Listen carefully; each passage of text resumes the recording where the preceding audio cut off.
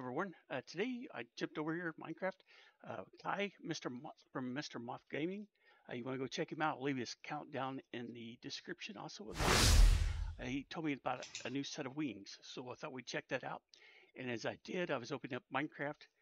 Got this message, so I want to share that with you guys too.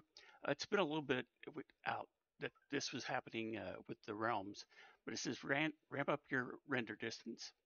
Want to lift a foggy veil around you in game, see all of your creations across a wild, wide area at once, or even just be able to stand on a tall mountain and get your bearings. Now you can, with an increased render distance in realms on supported devices.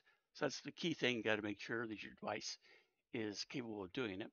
Since the render distance has ramped up from 12 to 20, and now you can get to see much further around you. Enjoy the view. So I just thought I'd share that with you guys uh, as I do the videos. So we click on it. We'll get here to the game. Uh, make sure you check out the marketplace. I've been trying to do updates for people who are new or not been able to see it to, to see the videos. But what I want to do right now is jump back over to what Kai was talking about, which is the uh, free wings, Torchflower wings. So if you go to minecraft.net slash redeem, at the bottom of the page is where you can get this. I'll try to leave the link down in the description also.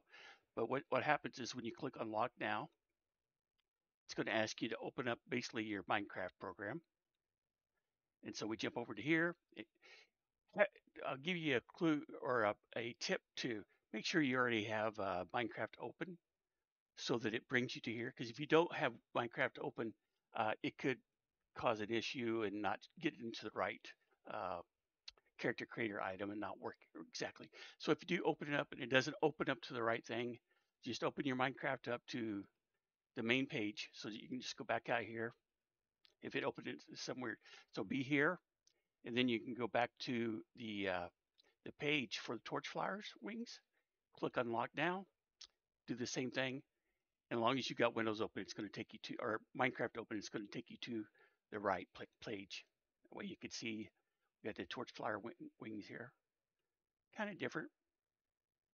But anyway, just uh, wanted to share that with you guys today because that's how you can get the torch flower wings. And I've already got them.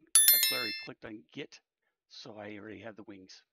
All right, guys. Uh, thanks to Kai, Mr. Moth Gaming. I appreciate uh, the notice. Uh, and I'll see you guys on the next video. Bye.